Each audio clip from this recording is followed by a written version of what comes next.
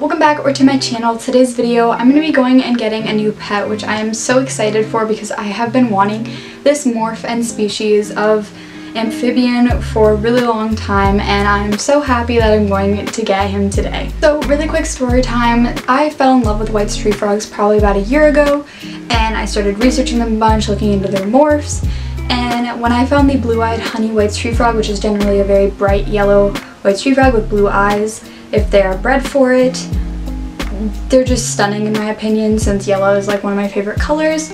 So I'm the type of person that always looks for adoptions or rehoming or rescuing before I go to a breeder and anytime I saw them I wasn't ready and didn't, it just didn't feel right. I've been waiting for so long and now about two months ago I rescued my two boys which are both normals and now that they're out of quarantine and they're doing super well in their new enclosure I was like the time's pretty good to look for a honey.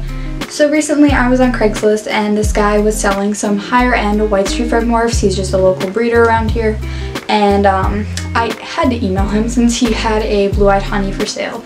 So he has a few of them for sale and I'm going to go pick one out today. He has a, a couple but I think I know which one I'm getting since he sent photos of them. They're just so cute because it is only two to three months old so uh, frogs can cannibalize one another if they are very different sizes and my boys are like one and a half years old. They are full grown males. So he will have to live on his own for a while. He'll be up here for roughly about a month or two in quarantine and then once he doesn't, you know, he's all healthy and I know he's good, he'll move downstairs in his 12 by 12 by 18 for a few more months until he's a similar size to them. Have his whole setup ready, I just have to bring it upstairs because I decorated it all downstairs.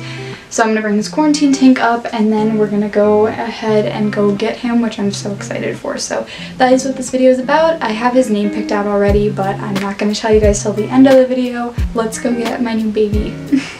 ah, okay, so it has been a few hours since I filmed the intro you just saw. We're leaving right now to go get the new Froggy. His quarantine tank is all set.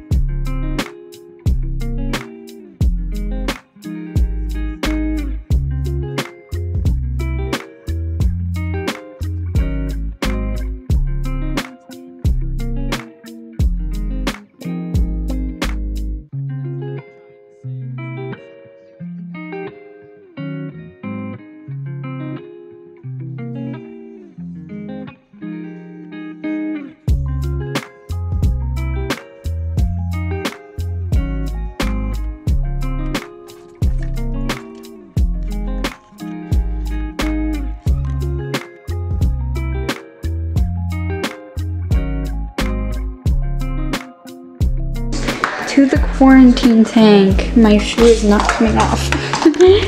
to the quarantine tank, yay! As you can see, this is going to be a very large enclosure for him, but um, if he shows any signs of stress or seems like it's too big, I will move him to a five gallons. So my hands are completely cleaned off and have water on them. So we'll open this up. Hi, baby. It's okay. Can I pick you up? No, we can't have an escape frog. Here he is. He is precious.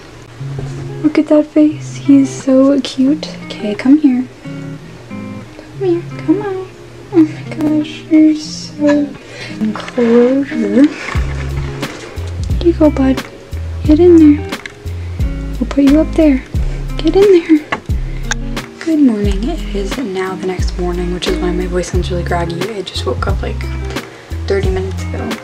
But I'm gonna run downstairs and grab the five gallon tank because this one is just too big. Like, look at him. If maybe I got two or they were, he was just a little bigger, I will probably put him back in here eventually, but I'm gonna grab the five gallon for now because this is an 11 gallon and it's just way too big for him. Okay, I've successfully made it back with the tank. Here is the tank. So obviously turn it vertical it perfectly locks, so don't worry.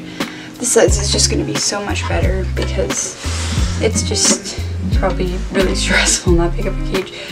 This is gonna be so much better of a size. It's just so much more manageable and comfortable for him. So I'm now going to just grab his deli container that he's been dying to get out of because he doesn't want to be in it. As you can just see, him compared to this little guy compared to this is not as big now, so. Sorry, there we go.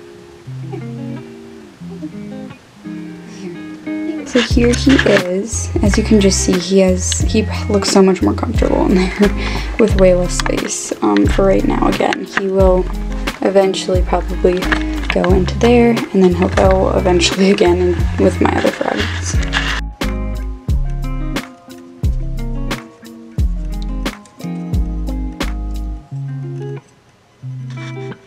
I'm not entirely sure if I announced his name yet, but I did name him Bottom, and there's kind of a story behind it. It's just kind of a funny name, and when I got my two frogs, I was considering naming them somehow Apple Bottom and Jeans, but I was like, I don't have three frogs, and I don't know if I want to name one like Apple Bottom or like Bottom Jeans.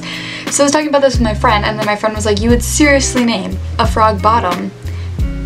And I was just like, yeah, I, that's such a funny name. Like, I would name a frog Bottom any day. And then ever since I wanted a honey, and then this started happening, I was like, I'll probably name it Bottom. Like, it's just perfect. So his name's Bottom, which is kind of fitting because he was the one at the bottom of the container when I picked him out. So I'm pretty sure he's a honey. I was doing my research. I don't think he's a snowflake. I believe he'll be a honey. I guess time can only tell. So thank you again so much for 760 subscribers and I will see you guys next time. I love you so much. Stay awesome. Bye guys.